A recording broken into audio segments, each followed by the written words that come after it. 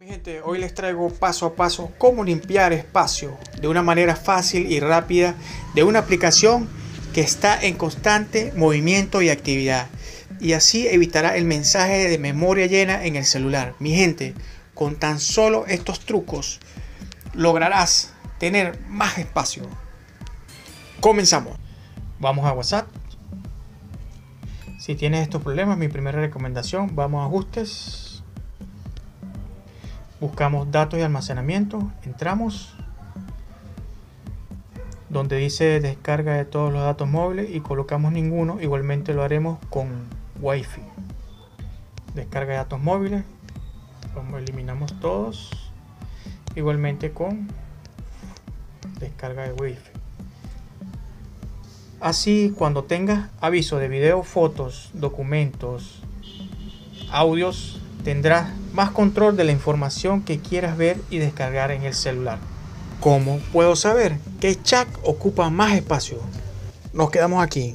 El segundo paso para seguir limpiando dentro de este apartado, dirígete a la opción a la que dice uso de almacenamiento. Ahí verás todas las conversaciones y uso y, peso. Vemos todos los chats está en uso de almacenamiento. Entramos a uno y vemos la información que tiene el chat, dice familia. Ahí vemos que tiene 1126 mensajes, 278 fotos, stickers 267, 2 GIF, videos 262, mensajes 106, documentos 2. En la parte de abajo, al lado derecho, dice liberación de espacio, le damos ahí. Ahí usted va escoger qué desea eliminar. Yo voy a elegir eliminar documentos, mensajes de audio. Ya los videos los vi, los vi también, eh, los stickers también, las, foto, eh, las fotografías sí las voy a dejar y los mensajes también los voy a eliminar. En la parte de abajo dice eliminar elementos. Fíjese que está eliminando 51.1 megabytes.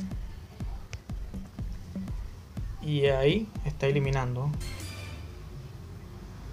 Solo quedó el espacio, solo va a quedar en los espacios que no le di eliminado. Fíjese.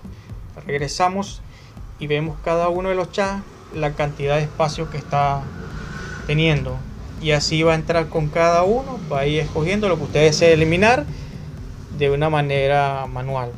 En caso que desees conservar fotos y videos, pero al mismo tiempo quieras liberar espacio en WhatsApp, hay una manera sencilla. Vamos atrás. Entramos en chat. Tienes dos opciones, guardar en Google Drive o en una cuenta Gmail. Simple.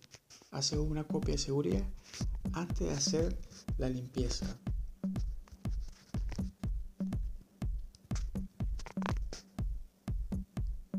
Del chat así liberarás y guardarás lo que deseas archivar. Mi gente, espero te haya gustado. Deja tus comentarios, suscribirte no cuesta nada. Hasta otro video. Chao.